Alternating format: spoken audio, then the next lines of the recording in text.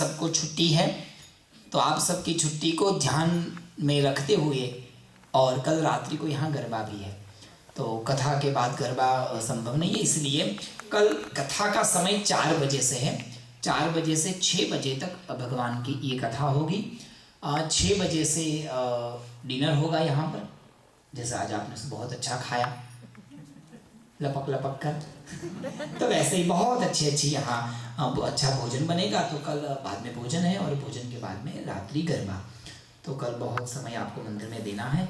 ज़रूर आइए, सबको कहिए, आइए दो क्षण भगवान का हरे कीर्तन और बाद में माँ भगवती की आरती होगी। जय जय भवानी माँ